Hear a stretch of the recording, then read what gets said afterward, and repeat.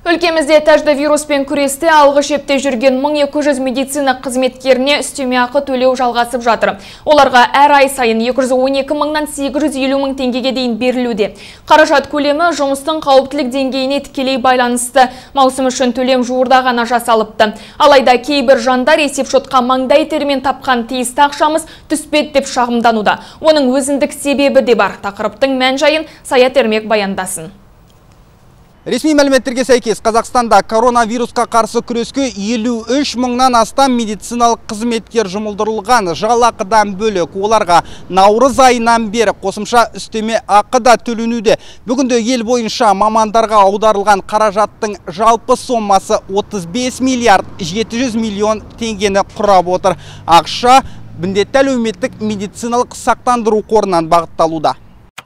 Еске сала кетейік, инфекциялық стационарларда індет жұқтырған пациенттермен тікелей жұмыс жасайтын медицина қызметкерлерінің жалақысына ай сайын 850 мың теңге қосылады. Ал провизорлық стационарлар мен жедел жәрдем қызметіндегі мамандарға қосымша 425 мың теңге қарастырылған.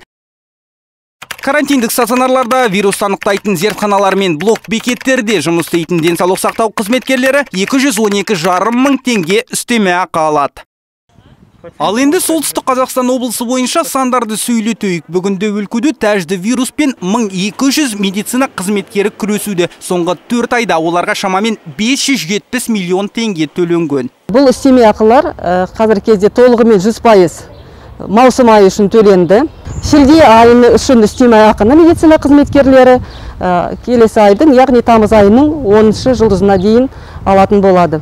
Облыста COVID-19 бен күреске жұмылдырылған мамандардың саны бір шама артқан наурыз айында 500-ге де жетпесе, қазір екі жарым есеге көп. Бұған қарамастан төлемдерді аудару бойынша еш кідіріс жоқ деп сендірді жауаптылар. Айта кеткен жөн төлем алушы мамандардың тізімін медициналық мекемелердің бас дәрігерлері береді. Табелдерді алдымен жергілікті денсаулық сақтау басқармасы, кейін өңірлік штаб тексереді. Бәрі қатаң бақылауда болғанымен қателіктердің орын алуы ғажап емес. Если вдруг Э, медицинские работники. Егерде қандай да бір себептермен медициналық қызметкерлер үстеме алмаса немесе қаражат толық көлемде түспесе олардан облыстық штаб немесе денсаулық сақтау басқармасына жүгінуді сұраймыз. әлеуметтік желілерде жариялап басы артық шу шығарудың қажеті жоқ жауапты органдар шағымды қабылдап тізімдерді тағы бір пысықтайды. Медициналық сақтандыру қоры үстемақы төлеумен қатар жайылған инфекциялық, провизорлық және карантиндік стационарлардың барлығын қаржыландырады. Бұл емде орындарына соңғы 4 ай ішінде 826 миллион теңге бағытталған. Жұмсалған сома өлкі бойынша төсек орындардың санын бір шама арттыруға мүмкіндік берді. Қазір тапшылық жоқ. Инфекциялық ауруханада бізде 480 төсек орын бар яғни сонша адам емделеді бір уақытта. Провизорлық стационарлар мен инфекциялық стационарларда 90 реанимациялық төсек орын бар. Яғни бұл 90 адамға жедел көмек көрсетіледі деген сөз. Ал провизорлық стационарлардағы төсек орындардың жалпы саны бүгінде 1600-ден асады. Карантиндік емде орындарында 200 шақты кереует бар. Бұл әзірге жеткілікті.